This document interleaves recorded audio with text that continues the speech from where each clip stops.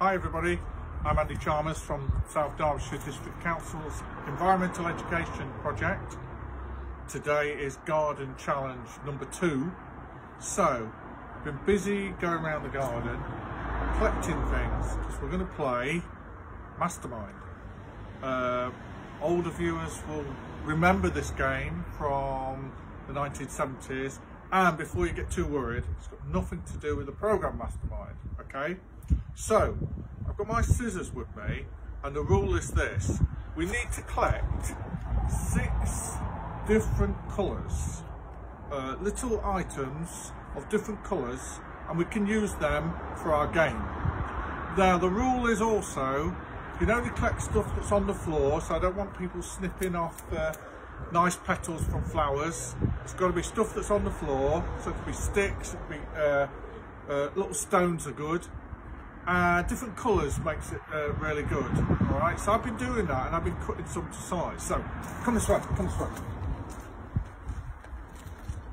So what we've got, I've made a bit of a board, but you can just play this on a tray or on a paving stone.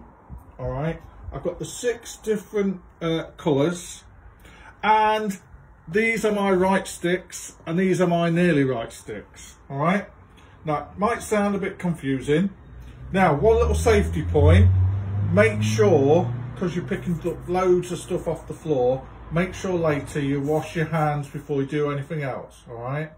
Very important point. Right, now, my daughter Harriet has set me a challenge.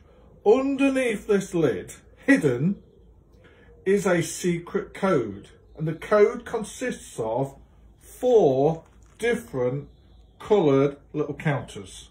All right, it could be more than one of each one. Now there's six to choose from, but the code is only four. All right. Now I'm sort of halfway through the game. So for my first guess, I did this brown leaf, a little uh, little pebble, a, a, green leaf, and a yellow uh, dandelion head. All right, it was on the floor. I didn't just snip it off. And she said, I got one in the correct position. So one of these is in the correct position under there. And one of them is also in it, but it's in the wrong position. All right. So for my second go, I thought, well, there should be some other things. So I used uh, bits of wood. There it is. Dandelion head. The leaf, I thought, yeah, it's in the right place. I've left it there and a bit of satsuma peel that I was eating earlier, good healthy breakfast, I put there. Now that resulted in one being in the right place again and one being in the wrong place. So for my third go, I thought, I know what I'll do. I'll decide the brown leaf, the dead leaf there, must be two of them. And I've gone for the dandelion heads, two of those. But oh my goodness, it's all gone wrong because she said none of them are in it. None of them are in it at all. Nothing in the right place. Nothing in it. So completely wrong. So scratching my head, looking confused. So what did I do? So I, I thought, well, maybe the green leaf, maybe a little stone, maybe two little stones, um, a satsuma peel. Now guess what? I've nearly got it because she said there's one, two, three in the correct position.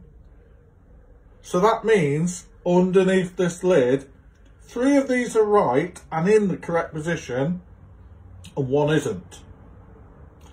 So this is where I'm up to. So, challenge now. I reckon I can get this with my next go. I'm almost there.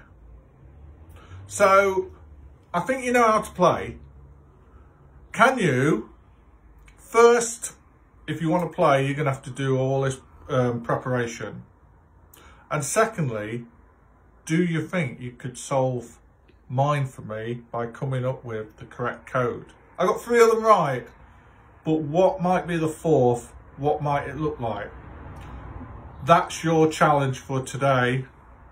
I'll see you tomorrow.